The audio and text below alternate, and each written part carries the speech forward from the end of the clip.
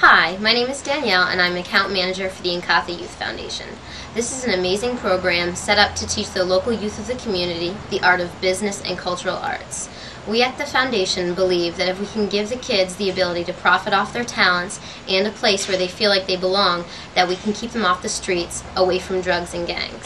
Our goal for the next year is to take 100 local community youth and produce 100 marketable products.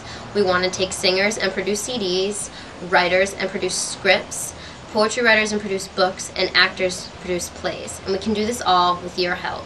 All it takes is a simple, tax-deductible donation of $240. That's $20 a month for one year. With your donation, you'll receive one free gift a month of your choice from the Inkatha catalog and the satisfaction of knowing that you're helping the local community youth and the future of tomorrow. So we hope that you will say yes, fill out the simple donation form, and start helping the local youth of the community today.